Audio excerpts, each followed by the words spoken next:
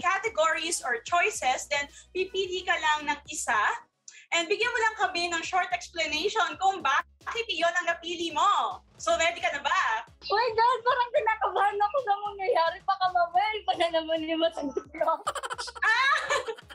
Hindi pa dali lang to. Fun, fun lang. Ah, okay, sige pa. Bahala na. Okay. Let's go. Number one. Heels or flats? Heels. Heels. Bakit heels? Kasi syempre, pag sumabak ka sa pageant, like ako, kakailanganin ko. Kasi kailangan pag nasa pageant ka na heels ang gagamitin ko para magmukhang matangkad naman ako kahit papaano ko. Okay. Heels ang sagot ni Rita. Next naman. Chocolates or salad? Chocolate. Kapag binigyan ako ng chocolate, feeling ko ang sweet niya sa akin.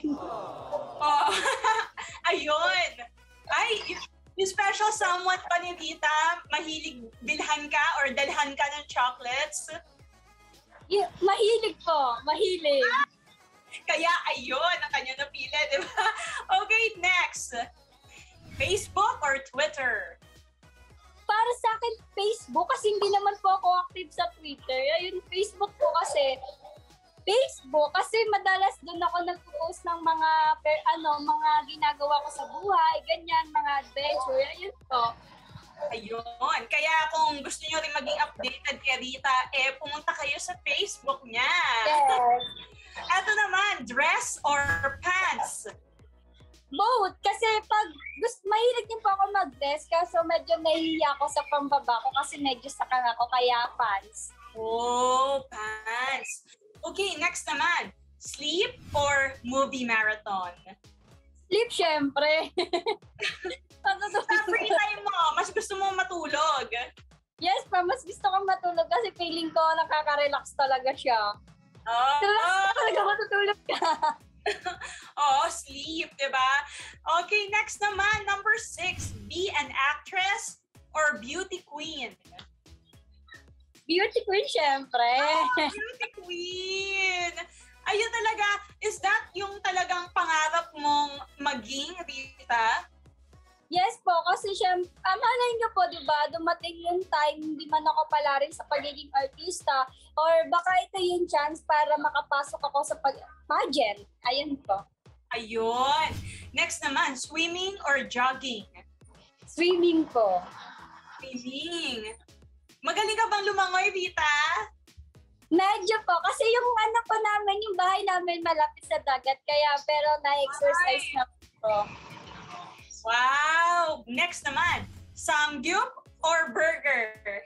Sangyo! Sa Korean, ano, mga Korean food? Opo, la, oh, sobra. Kasi nakaka-enjoy kainin kasi ang dami. Tapos kahit hindi ka na lumabas doon sa loob. Ah, Mas excited kasi pag sanggip kasi madami kang pagpipilian. ayun, maraming pagpipilian. Next naman, are you a morning person or night person? Morning person. Oh, morning person. Gaano ka kaaga nagigising, Rita? Oh, siguro kapag may online class po, mga 6, gano'n. Pero pag wala, sa morning? yes po. Kasi di ba lalo na kapag nagsushoot ka, lalo na kapag maaga yung call time mo, kailangan mo gumising ng maayos para maayos yung gamit mo. Ayun.